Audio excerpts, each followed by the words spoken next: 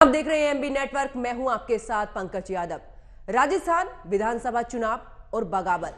बहुत कुछ कह जाते हैं शब्द, क्योंकि कांग्रेस ने अभी तक लिस्ट जारी नहीं की, और उससे पहले ही बगावत सी कांग्रेस के अंदर नज़र आने लगी है।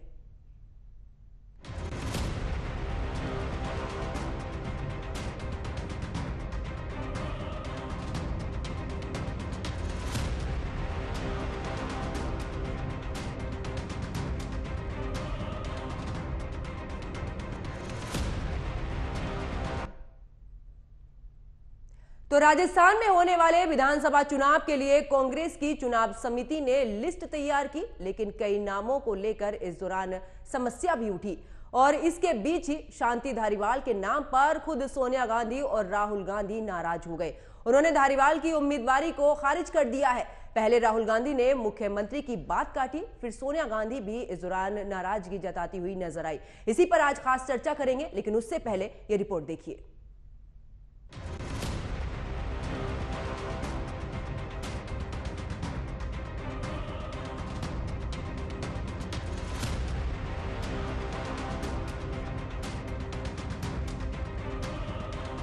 राजस्थान में होने वाले विधानसभा चुनाव के लिए कांग्रेस की लिस्ट फाइनल नहीं हो सकी।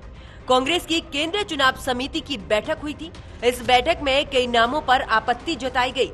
लेकिन एक नाम ऐसा था जिस पर खुद कांग्रेस संसदीय दल की अध्यक्ष सोनिया गांधी और पूर्व राष्ट्रीय अध्यक्ष राहुल गांधी ने नाराज़गी ज़ाहिर की। और ये नाम है राजस्थान के यूडीएच मंत्री शांति धारीवाल का। सूत्रों की माने तो ये भी बताया जा रहा है कि जैसे ही शांति धारीवाल का नाम सामने आया, वैसे ही सोनिया गांधी और राहुल गांधी ने उनके नाम पर कड़ी प्रतिक्रिया ज़ाहिर करते हुए उनकी उम्मीदवारी को सिरे से खारिज कर दिया। अब आपको ये भी बताते हैं कि आखिरकार शांति धारीवाल से सोनिया गांधी क्यों नाराज़ है। दरअसल पिछले साल 25 सितंबर को शांति धारीवाल ने पार्टी आला कमान के आदेश के खिलाफ हुई गहलोत समर्थक कांग्रेस विधायकों का नेतृत्व किया था। उस वक्त सोनिया गांधी पार्टी की अंतरिम प्रमुख थी। उन्होंने मल्लिकार्जुन खड़गे और अजय माकन को पर्यवेक्षकों बनाकर राजस्थान में कांग्रेस विधायकों की बैठक के लिए भेजा था। इस बैठक में एक लाइन का प्रस्ताव पास होना था। चर्चा थी कि अशोक गहलोत को हटाकर सचिन पायलट को सीएम बनाया जा सकता है। और इसी डर से गहलोत समर्थक विधायकों ने शांति धारीवाल के आवास पर अलग बैठक की। गहलोत गुट के विधायकों ने धमकी देते हुए कहा था कि अगर अशोक गहलोत सीएम नहीं तो ये सरकार भी नहीं। इधर पार्टी कार्यालय में भी विधायकों की बैठक के लिए खरगे और माकन इंतज़ार कर रहे थे। वहाँ बैठक में कुछ विधायक ही पहुँचे। जो पहुँचे थे, उन्हें पायलट गुट का बताया गया। शांति धारीवाल के आवास पर समांतर बैठक से खरगे और माकन को भारी शर्मिंदगी उठानी पड़ी थी। ये दोनों बिना बैठक के ही दिल्ली लौट आए और जो हुआ, उसके बारे में सोनिया गांधी को रिपोर्ट दी। बाद में पार्टी की ओर से तीनों कांग्रेस नेताओं, धारीवाल, महेश जोशी और राज्य पर्यटन विकास नगर के अध्यक्ष धर्मेंद्र राठौर के खिलाफ कारण बताओ नोटिस भी जारी किया था। तो जिस तरह से कांग्रेस के खेमे में नाराज़गी की खबरें आती रहती हैं, बगावत के सुर उठते रहते हैं। ऐसे में लगता है कि अब कांग्रेस नेतृत्व एक्शन मोड में है और यही वजह है कि आगे कोई फिर इस तरीके की बगावत ना करे। इसके लिए कांग्रेस नेतृत्व एक्शन ले रहा है। ब्यूरो रिपोर्ट एएमबी नेटवर्क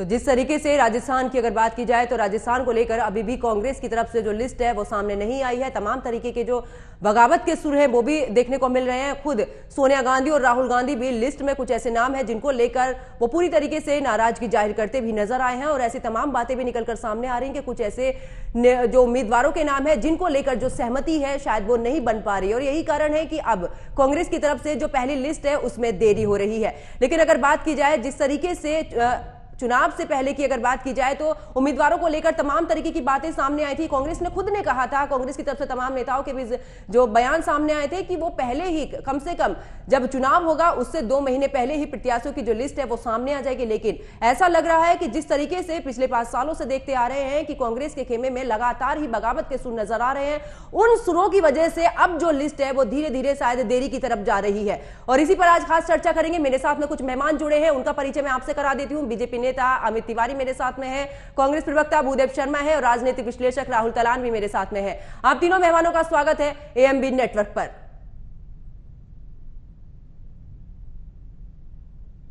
तो देखिए, जिस तरीके से राजस्थान की अगर बात की जाए तो राजस्थान में अभी तक जो लिस्ट है वो फाइनल नहीं हो पाई है और उसी को लेकर अभी भी अगर बात की जाए कांग्रेस की तो पूरे तरीके से जो माथा पच्ची है वो लगातार जारी है। अमित तिवारी जी अगर बात की जाए, जिस तरीके से बीजेपी में भी देखा था कि तमाम तरीके के जो बगावत के सुर थे, वो नज़र आ रहे थे, लेकिन अब जिस तरीके से कांग्रेस में आ रहे हैं, आप किस तरीके से देखते हैं इसको? देखिए, जिस तरीके से अशोक गहलोत ने कल एक प्रेस कॉन्फ्रेंस सचिन पायलट ही मौजूद नहीं दो जो बड़े नेता हैं राज्य के उनमें ही अगर मनमुटाव है उनमें ही अगर तकरार है उनमें ही अगर एक एक समन्वय समन्वय नहीं है तो कांग्रेस की स्थिति साफ़ है। और उन्होंने प्रेस कॉन्फ्रेंस में एक बहुत ही महत्वपूर्ण बात गहलोत जी ने कही कि उन नेताओं को टिकट नहीं दिया जाएगा जिनके ऊपर करप्शन के चार्जेस हैं। तो राजस्थान की जनता आज ये जानना चाहती है कि अगर उन नेताओं के ऊपर करप्शन के चार्जेस हैं तो उन पर कार्रवाई क्या हुई? उन पे अगर वो अभी तक पार्टी में कैसे बने हुए हैं और क्या जब तक उस करप्शन की मलाई कांग्रेस खाती रही तब तक सब ठीक था और चुनाव के वक्त उनको ये कांग्रेस उनको उनका ये करप्शन दिख रहा है तो ये क्यों ना माना जाए कि पुनः एक बार साबित होता है कि कांग्रेस का हाथ करप्शन के साथ है? हम्म। भूदेव शर्मा जी मेरी आवाज़ आपको मिल पा रही है? भूदेव शर्मा जी तक हमारी आवाज़ नहीं पहुँच पा रही राहुल दलान जी जिस तरीके से लिस्ट की बात की अगर बात की जाए तो लिस्ट को लेकर कांग्रेस पहले कह चुकी थी कम से कम दो महीने पहले लिस्ट आ जाएगी। लेकिन अब जो अंदरूनी कला है जो पिछले पाँच साल से हम देखते आ रहे हैं सचिन पायलट और अशोक गहलोत के बीच में अब प्रत्याशी जो धारीवाल है उनको लेकर भी अब खास करके सोनिया गांधी नाराज़ है राहुल गांधी नाराज़ है। उन्होंने कहा कि किसी एक व्यक्ति को लेकर किसी भी तरीके की जिसने बगावत के सुर उठाए हैं उनको हम नहीं प्रत्याशी बनाएँगे। तो क्या लगता है कि क्या कांग्रेस के खेमे में जिस तरीके से बातें उठ रही हैं वो क्या मुश्किल खड़ी कर सकती है कांग्रेस के लिए?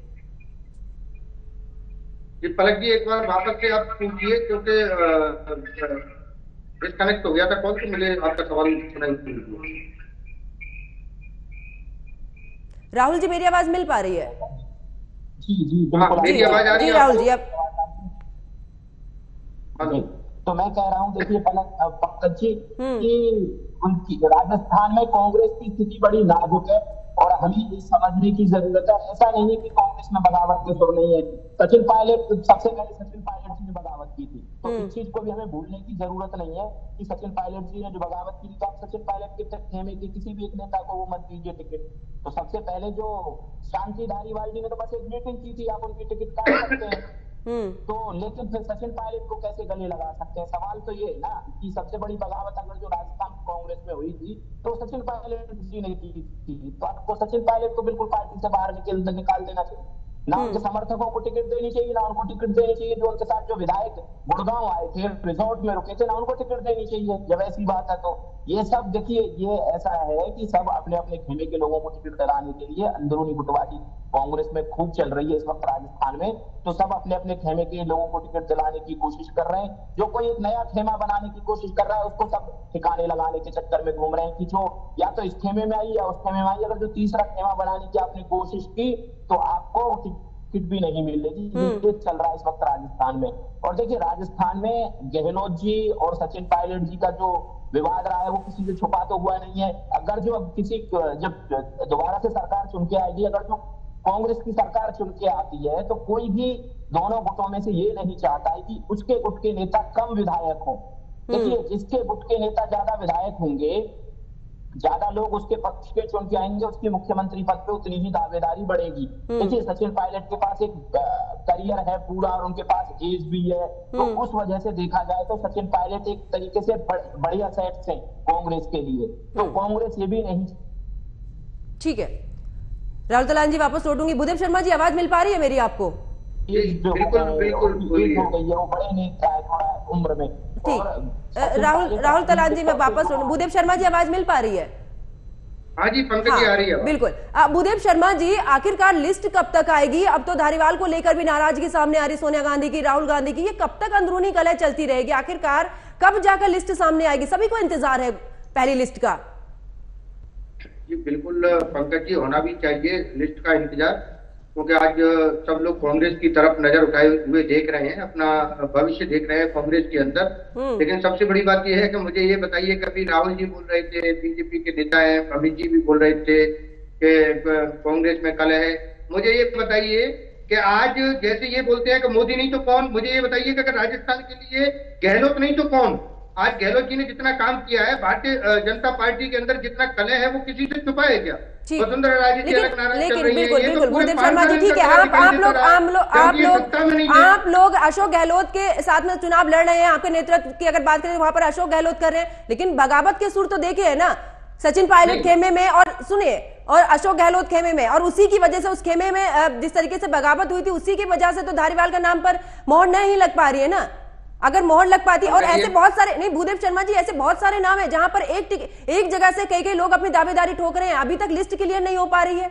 और चुनाव के दिन ही कितने बचे हैं? दो महीने चुनाव से दो महीने पहले की बात कही थी कांग्रेस ने कि दो महीने पहले सबसे पहले प्रत्याशी जो उतरेंगे वो कांग्रेस की तरफ़ से उतरेंगे। बीजेपी ने अपनी लिस्ट जारी कर दी है। बगावत के सुरुधर भी है लेकिन संभाला जा रहा है। अभी तो टिकट का भी आवंटन नहीं हुआ। उससे पहले इतनी बड़ी बगावत शुरू हो रही है कांग्रेस के अंदर। पंकज जी अब आपकी बात पूरी हो गई है तो मैं जवाब दे लूँ? बिल्कुल जवाब आप दीजिए। अच्छी बात है कि आप हमको लेकर के इतनी चिंतित हैं। हमें बहुत अच्छी खुशी मिली कि कांग्रेस पार्टी को लेकर के कोई इतनी चिंता ज़ाहिर कर रहा है। बहुत अच्छी बात है आप हमारे बारे में इतना सोचते हैं। चिंता सभी के लिए है शर्मा जी क्योंकि मैं जनता की आवाज़ लेके बैठी हूँ। वो मैं देख रहा हूँ कि जनता की आवाज़ है कि मतलब क्या है बस अच्छी बात है कि आप चिंता कर रहे हो। हम्म। तो कांग्रेस पे लोगों को भरोसा है आपको भरोसा है कि कांग्रेस पार्टी में अगर कुछ चल रहा है तो वो गलत चल रहा है और जनता के लिए आप आवाज़ उठा रहे हो। लेकिन इसी तरह के सवाल आप बीजेपी के प्रवक्ताओं से भी कीजिए। उनसे उनको जैसे आप उनके बीच में नहीं बोलते हो तो मुझे भी पूरी बात रखने का मौका दीजिए।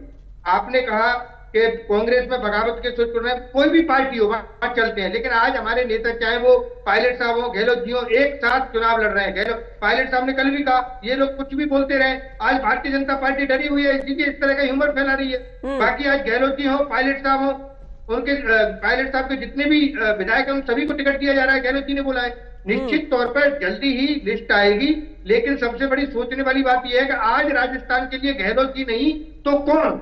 इनके पास एक चेहरा तक नहीं है भारतीय जनता पार्टी के पास। जवाब तो ले ये लेते ही। हैं। असमंजस में इनका केंद्रीय नेतृत्व ये तय नहीं कर पा रहा है कि वसुंधरा जी को लेकर के आया जाए या नहीं लेकर के आया जाए। हम्म। तो सबसे बड़ी दुर्भाग्य की बात तो भारतीय जनता पार्टी के लिए है। कांग्रेस की लिस्ट आएगी कांग्रेस पार्टी सरकार बनाएगी डेढ़ सौ प्लस सीटें लेकर के आएगी। हम्म। क्योंकि वहाँ गहलोत जी ने काम किया है। तीस पैंतीस सीटों की इन्होंने लिस्ट निकाली। उस पर आपने देखा कैसे राय जयवर्धन साहब को लोगों ने भगाया हम्म। कैसे इनके बगावत के कुछ जनता इनका विरोध कर रही है जबकि ये सत्ता में नहीं थे हम्म। जब इनका ये विरोध हो रहा है अगर सत्ता में होते विरोध होता तो अच्छा लगता है कि क्योंकि एक एंटी इनकमेंसी बनती है हम्म। तो हम इस चीज़ से समझ सकते हैं कि आज भारतीय जनता पार्टी की राजस्थान में क्या हालात है ये बौखलाए हुए हैं न तो इनके पास कोई चेहरा है न ये ये सोच पा रहे हैं कि किसको टिकट दिए जाए। और स्टेट में चाहे वो मध्य प्रदेश हो तेलंगाना हो छत्तीसगढ़ हो इनकी आपने देखा भारतीय जनता पार्टी ने मुझे लगता है कि एक एक महीने से अधिक हो गए जब इनकी लिस्टें निकलना शुरू हो गई थी। लेकिन राजस्थान में ये क्यों नहीं लिस्ट निकाल पा रहे हैं? क्योंकि इनके पास चेहरा नहीं है। इसलिए मैं पंकज जी फिर कहता हूँ कि राजस्थान के लोगों के पास गहलोत जी के अलावा कोई ऑप्शन नहीं है और आप इनसे पूछिए। जैसे आप पूछते हो ना कि मोदी नहीं तो कौन? ऐसे ही इनसे पूछिए कि गहलोत जी नहीं तो कौन? ठीक है ठीक जनता के है लिए। ठीक है मुदर शर्मा जी जवाब ले लेती हूँ। जवाब ले लेती हूँ जवाब लेती हूँ। अमित तिवारी जी कहीं पर भी चुनाव हो रहा है वहाँ पर खुलकर कोई चेहरा सामने नहीं आ रहा है पाँचों राज्यों में। मोदी के चेहरे पर ही सबके निगाहें हैं और सब यही कहना है कि मोदी नहीं तो कौन, जिस तरीके से आप लोग भी आवाज़ उठाते हैं, आखिरकार पाँच राज्यों में जो चुनाव हो रहे हैं, वहाँ पर सीएम का चेहरा अभी तक कोई भी सामने नहीं आया। दूसरी तरफ़ अगर वसुंधरा राजे की बात करें तो वो भी नाराज़गी, और इतना है कि आपने जो लिस्ट जारी की है पहले, उसमें भी कई ऐसे पंद्रह नाम है जो कि निर्दलीय तौर पर भी अब जाने की कोशिश कर रहे हैं। तो ये बीजेपी में किस तरीके से बगावत के सुर शुरू हो रहे हैं, कहीं ऐसा ना हो कि जिस कॉन्फिडेंस के साथ में कांग्रेस बोल रही है, कहीं वो बीजेपी पर भारी पड़ जाए। पंकज जी देखिए अभी भूदेव शर्मा जी कह रहे थे कि राजस्थान में गहलोत नहीं तो कौन? हम्म। ये इनका सवाल था। अब आप इनसे पूछ लीजिए राजस्थान में गहलोत जी किस स्थिति में हैं? जो राहुल गांधी कह दे जो सोनिया गांधी कह दे क्या उनकी बात को वो काट सकते हैं? आज गहलोत जी इस स्थिति में नहीं है कि वो अपने चाहिए लोगों को अपने कैंडिडेट को खड़ा कर सके। और अगर उनपे मोहर नहीं लगती है तो किस तरीके से उनकी लेकिन अमित शर्मा जी अमित तो शर्मा जी वसुंधरा राजे के समर्थक भी जितने रहे हैं उन पर भी आपका विश्वास नहीं है ना? तो आप कैसे आप दूसरे पर जिस तरीके से बोल रहे हैं कि अ, उनके समर्थकों को नहीं टिकट मिल रहा है तो यहाँ तो वसुंधरा राजे के भी समर्थकों को टिकट में पहली लिस्ट में नाम शामिल नहीं किया गया बहुत सारी नाराज़गी वहाँ पर देखी जा रही है बीजेपी में भी। नहीं बीजेपी पंकज जी बीजेपी की कार्य प्रणाली अलग है। हम एक डिसिप्लिन पार्टी हैं। हमारे यहाँ कार्यकर्ता से बड़ा कोई पद नहीं होता है। इवन प्रधानमंत्री भी यही कहते हैं कि मैं एक कार्यकर्ता हूँ सामान्य कार्यकर्ता हूँ। तो जिस पार्टी में कार्यकर्ता से बड़ा कोई पद ना हो उस पार्टी में कोई बड़ा नेता नहीं होता सभी कार्यकर्ता होते हैं। और हर एक कार्यकर्ता पार्टी का डोज लेकिन कोई तो चेहरा कोई तो चेहरा लाइए ना। अमित अमित जी कोई तो चेहरा लाइए ना जिसके चेहरे पर आप जनता को ये बोल सके कि हाँ इसके चेहरे पर हम चुनाव लड़ रहे हैं। गुमनाम गुमनाम वाली ज़िंदगी नहीं चल रही है।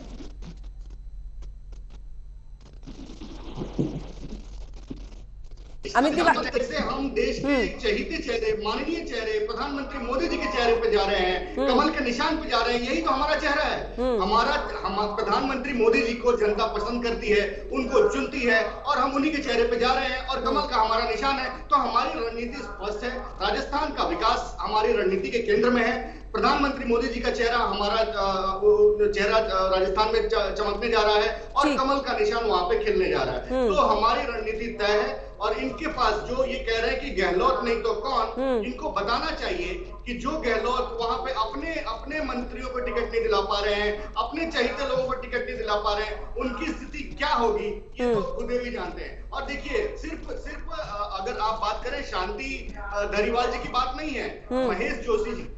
हो गए हैं धर्मेंद्र राठौर जी हैं। ये तमाम नेता जो गहलोत जी के करीबी हैं। उनको टिकट ही नहीं दिया जा रहा है। ठीक है अमित जी जवाब ले लेते हैं। भूदेव शर्मा जी जवाब दीजिए। भूदेव शर्मा जी आवाज़ मिल पा रही है? बिल्कुल मेरे को आवाज़ जी, आ रही है। जी, मैं आवाज़। बोल रहा हूँ पंकज जी मैं तो बड़ी देर से हंस रहा था। पंकज जी। बड़ी हास्यास्पद बात आपको हमेशा से शिकायत रहती है। नहीं आपको हमेशा से शिकायत रहती है कि मैं बीजेपी से सवाल नहीं करती हूँ। हालाँकि मैं बीजेपी से सवाल करती हूँ लेकिन आप मेरे पर ही तो सवाल खड़े कर देते हैं। नहीं नहीं आप मेरे पर ही सवाल खड़े कर देते हो। आज मैं आज नहीं आज मैं चाहूँगी आज आप खुलकर बोलिए। आज आप बिल्कुल खुलकर बोलिए क्योंकि जिस तरीके से आप हाँ। पंकज जी हम अपनी बात रखते हैं। हमें। इससे कोई आपत्ति नहीं है। आप सवाल पूछिए आपके सारे सवालों के जवाब देते हैं। लेकिन जब हम जवाब दे रहे हैं और उस समय अगर कोई रोकता है तो हम उस पर सवाल खड़े करते हैं। अब तो भारतीय जनता पार्टी के क्रॉस क्वेश्चन करना तो मेरी ड्यूटी है चाहे वो किसी भी पार्टी से हो। मैं क्रॉस क्वेश्चन करने के लिए ही यहाँ बैठी हूँ। पंकज जी अभी तिवारी जी ने स्वीकार किया कि इनके पास कोई चेहरा नहीं है। मध्य प्रदेश में ये शिवराज सिंह जी के चेहरे को भी सामने नहीं कर पा रहे हैं। अब इनको ये बताइए कि मोदी जी प्रदेश के प्रधानमंत्री हैं या वो राज्यों के मुख्यमंत्री बनेंगे? इनसे पूछिए। ये एक जवाब नहीं दे पाते हैं कि, मोदी जी के नाम पर मोदी जी के नाम पर। अरे भैया वो देश के प्रधानमंत्री हैं कि सीएम किसी और को बनना है। तो ये सोचना बंद कीजिए राज्यों में ये लोकतांत्रिक देश है। और रही कांग्रेस पार्टी की लिस्ट का सवाल तो मैं आपको पंकज जी स्पष्ट कर देना चाहता हूँ कि हमारे नेता राहुल गांधी जी जो हमेशा युवाओं के लिए सोचते हैं उन्होंने लिस्ट को लेकर के ये कहा था कि इस पर वापस वही पुराने नाम लेकर के आए हो। आपने नए नामों को क्यों नहीं लेकर के आए? हमने मध्य प्रदेश में नौ यूथ कांग्रेस के लड़कों को टिकट दिया है चाहे वो प्रदेश अध्यक्ष हो या वो राष्ट्रीय सचिव हो या फिर जिला अध्यक्ष तक को टिकट दिया गया। है नो। नो यूथ कांग्रेस के लड़कों को टिकट दिया है। हम राहुल जी ने यही कहा कि यहाँ पर भी राजस्थान में भी हाँ। युवाओं की भागीदारी को बढ़ाइए बार बार इनको रिपीट मत कीजिए। इसलिए उस पर चर्चा हो रही है और लिस्ट लेट हो रही है। उसमें दिक्कत क्या है? ये तो अच्छी बात है। राहुल जी की सोच से आज हम आगे बढ़ रहे हैं वो युवाओं के लिए सोच रहे हैं। लेकिन यहाँ तो भारतीय जनता पार्टी तो यही तय कर नहीं पा रही है कि इनका मुख्यमंत्री तो छोड़िए ये टिकट किसको दें? ठीक है भूदेव शर्मा जी वापस। ठीक है भूदेव शर्मा जी वापस लौटूँगी। राहुल जी अब जिस तरीके से बीजेपी की तरफ़ से तो कोई चेहरा सामने आ नहीं रहा है, क्योंकि जिस तरीके से कांग्रेस लगातार आरोप लगा रही है कि इनके पास में कोई चेहरा नहीं है। लेकिन अगर अब जिस तरीके से टिकट को लेकर या प्रत्याशियों की जो घोषणा हो रही है, उस दौरान बीजेपी में भी हम देख रहे हैं कि कुछ ऐसे हैं जो निर्दलीय तौर पर जाना चाहते हैं, क्योंकि उन्हें जीतना है। अगर कांग्रेस की बात करें, कांग्रेस भी पूरे तरीके से प्रत्याशियों की लिस्ट नहीं ला रही है। अब बात युवाओं की कर रहे हैं कि युवाओं को हम नया, वो मौका देना चाहते हैं, लेकिन क्या लगता है किस तरीके से ये जो समीकरण बनते जा रहे हैं कि आखिरकार सत्ता में रहने के लिए लिस्ट में देरी हो रही है, किस तरीके से आप देख रहे हैं?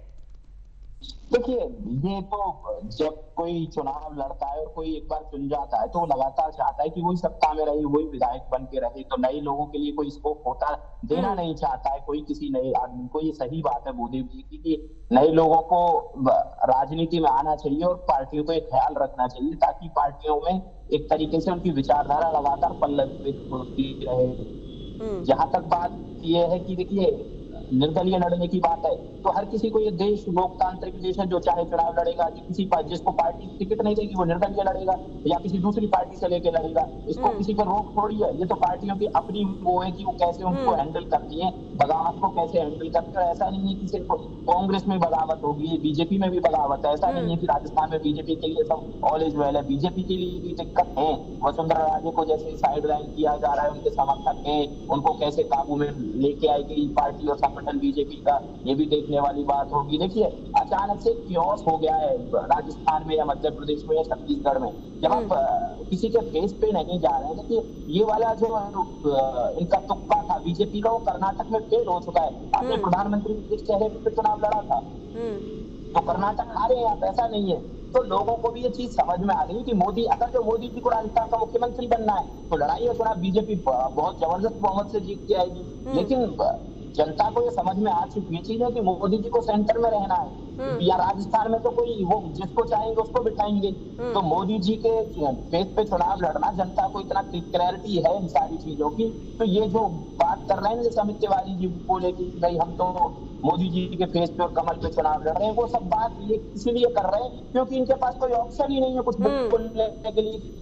इसको बताइए इसको चेहरा बताएँ। या च- वो दिया कुमारी चेहरा होंगी राज्यवर्धन सिंह राठौर चेहरा होंगे गजेंद्र शेखावत चेहरा होंगे या फिर ओम माथुर चेहरा होंगे। इतने सारे लोग हैं इनके पास कि ये किस किस का नाम बताएँ। अभी इनको कोई पार्टी संगठन से कोई ऐसी जानकारी नहीं मिली कौन चेहरा होगा। वैसे ही मध्य प्रदेश में आपने कई सेंट्रल लीडर लीडर को उतार दिया केंद्रीय मंत्रियों को उतार दिया तो वहाँ भी एक तरीके की यही है कि लोगों को पता नहीं चल रहा है कि मुख्यमंत्री बनेगा और ऊपर आया जब मैं चला जाऊँगा फिर याद आऊँगा तो ये सारी चीज़ें जो चल रही है इस वक्त राजनीति में खासकर बीजेपी की राजनीति में देखिए कांग्रेस इस चीज़ को लेकर क्लैरिटी के साथ है कि मध्य प्रदेश में उनके पास कमलनाथ है और वहाँ भूपेश बघेल है छत्तीसगढ़ में और राजस्थान में। उनके पास। बिल्कुल, बिल्कुल, राहुल जी, क्योंकि- जो हाँ। बिल्कुल जो बीजेपी जो राजनीति करती थी वो अब कांग्रेस कर रही है फेस आगे करके कांग्रेस चुनाव ठीक है ठीक है राहुल जी वापस लौटूँगी फिर ठीक है भूदेव शर्मा जी फाइनल कमेंट आपसे चाहूँगी। जी बिल्कुल पंकज जी। राहुल जी ने बिल्कुल ठीक कहा कि अगर जिनके पास चेहरा नहीं है आज 21वीं सदी का भारत है यहाँ के लोग अब समझदार हैं। इनको जितना फरगलाने का काम मोदी जी ने अपने नाम पर किया हो या देश की जनता को झूठे वादे करके किया है वो जनता अब समझ चुकी है। आज मध्य प्रदेश में ये बोलते थे कि हिंदू हिंदू हिंदू उस नारे को भी ये जनता समझ चुकी है कि किस तरह से ये केवल हिंदुओं के भगवान के नाम पर वोट मांगते हैं अपने काम पर वोट नहीं मांगते कहीं पर भी ये प्रचार करने जाते हैं। ये कभी ये नहीं बता पाते कि हमने ये काम किया है और आगे चल के ये काम करेंगे। और हमारे नेता हमेशा ही काम को लेकर के जितनी भी जनसभा में जाते हैं सिर्फ़ काम के बारे में बताते हैं कि गहलोत जी ने क्या काम किया है। जब कमलनाथ जी की सरकार थी डेढ़ साल तो क्या काम किया था? अब ये हमारी लिस्ट को लेकर के आप सवाल उठा रहे हैं। तो मैं आपको बता देता हूँ कि अब तक श्राद्ध चल रहे थे। जैसे ही नौदेवी शुरू हुई। हमारी मध्य प्रदेश की एक साथ लिस्ट आई अभी राजस्थान की लिस्ट आने वाली थी लेकिन राहुल जी के इंटरफेयर के बाद उसको भी एक दो दिन के लिए रोक दिया क्योंकि यूथ को मौका देना है। तो निश्चित तौर पर एक दो दिन में लिस्ट आएगी और डेढ़ सौ से अधिक सीटें लेकर के हम राजस्थान में सरकार रिपीट कर रहे हैं। मध्य प्रदेश छत्तीसगढ़ तेलंगाना में भी हमारी सरकार बन रही है और भारतीय जनता पार्टी आज पूरी तरह बौखलाई हुई है क्योंकि देश के युवा देश के ठीक है ठीक है ठीक है जवाब ले लेते हैं। अमित तिवारी जी जवाब दीजिए क्योंकि आपने तो कोई चेहरा ही क्लियर नहीं किया हुआ है पाँचों राज्यों में। पीएम मोदी के चेहरे पर आप चुनाव लड़ रहे हैं। जी पंकज जी मैंने पहले ही अपने वक्तव्य में कहा था कि हमारे पास तो देश का सबसे लोकप्रिय और सबसे चर्चित चेहरा मुख्यमंत्री तो नहीं बनेंगे ना मुख्यमंत्री पाँचों राज्यों में तो नहीं बनेंगे ना। कोई तो चेहरा लेके आइए है। सामने। जी बिल्कुल वो इलेक्शन के बाद वो तय हो जाएगा जिसको भी विधायक मिलकर चुनाव करेंगे। लेकिन मैं आपको ये बता दूँ और भूदेव शर्मा जी को ये मैं बताना चाहता हूँ कि इस बार राजस्थान में उन्हें 50 सीटें भी नहीं मिलने वाली है। आप ये गिन के रख लीजिए 50 भी नहीं मिलने वाली है। क्यों? मैं बताता हूँ। करप्शन के मुद्दे पर कांग्रेस नंबर वन है बेरोजगारी के मुद्दे पर कांग्रेस नंबर वन है महँगाई के मुद्दे पर कांग्रेस नंबर वन है। 8.1 प्रतिशत वहाँ पे महँगाई दर है राजस्थान में आज की डेट पे। सबसे महँगा पेट्रोल राजस्थान में है। तो हर मुद्दे पर कांग्रेस पहले पास कहाँ पर है? तो करप्शन के मामले में ये पास है। तुष्टीकरण की राजनीति पे किस तरीके का कन्हैया कन्हैया लाल की गले रेत दिया जाता है वहाँ पर। और कांग्रेस की सरकार चुप रहती है, कुछ भी नहीं कहती है। और एक कभी कुछ दिन के पहले बाइक एक्सीडेंट हुआ था तो उस बालक को पचास लाख का तुरंत दिया गया मुआवजा और हम्म। कन्हैया लाल को मुआवजा अभी तक नहीं दिया गया। इस तरीके से बुलडोजर जब चलता है तो वो राम भक्तों पर चलता है हम्म। और एक तुष्टिकरण की राजनीति कांग्रेस पार्टी वहाँ करती है। तो कांग्रेस की सरकार चलिए अमित जी समय कम के चलते चर्चा को यहीं पर ही रोकना होगा। आप तीनों मेहमान मेरे साथ में जुड़े आप तीनों का बहुत बहुत शुक्रिया। तो देखिए जिस तरीके से राजस्थान की अगर बात की जाए तो राजस्थान में अभी भी कांग्रेस की जो लिस्ट है वो फाइनल नहीं हो पाई है। पहली लिस्ट तक नहीं आ पाई है जबकि दो महीने पहले ही बोल दिया गया था कि दो महीने पहले ही चुनाव से लिस्ट जारी कर दी जाएगी। लेकिन कहीं ना कहीं अभी जिस तरीके से उम्मीदवारों को लेकर जो पैच है वो फंसा हुआ है चाहे वो अशोक गहलोत का मान लीजिए या फिर सचिन पायलट का क्योंकि इन दोनों खेमे के बीच में हमेशा से ही तनाव जो है वो देखने को मिला एक दूसरे के लिए। लेकिन अब देखने वाली बात यह होगी कि आखिरकार कांग्रेस की जो पहली लिस्ट आती है इस दौरान कितने बगावती सुर उठते हैं और कितने संतुष्ट बैठे इस, इसी को लेकर अब जिस तरीके से तमाम तरीके की बातें निकल कर आ रही है कब इन पर अंकुश लगता है ये फ़िलहाल अब देखने वाली बात होगी। मेरे साथ फ़िलहाल इतना ही। आप देखते रहिए एएमबी नेटवर्क। नमस्कार।